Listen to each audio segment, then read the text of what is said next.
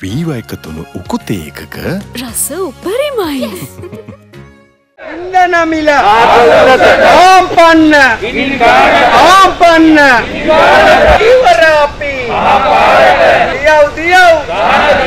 ඊවරයට දමව් දමව්.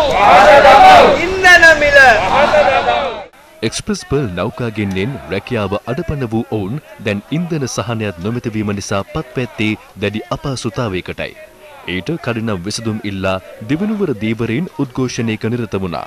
එල්මිල බඩුමිල ඊවර ගොවිසම රැකියාම තිල ටික මහා ජනතාවම ඕටි හෙලෙයි ඕටි හෙලෙයි අදිමොකදල අදිමොකදල express pearl නම ගිනි අරගෙන මාස දෙක කාලයක් ගත වෙලා තියෙනවා. මේ දක්වා තමන්ගේ රස්සාව කරගන්න විදියක් නැහැ දීවරයින්ට.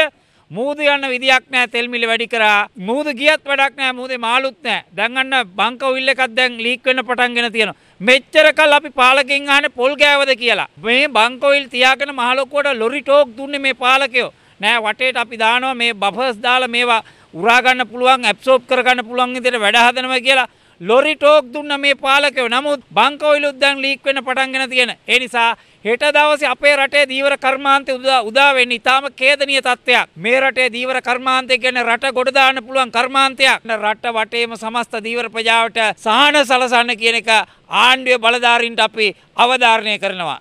ඊවරයට ඊවරයට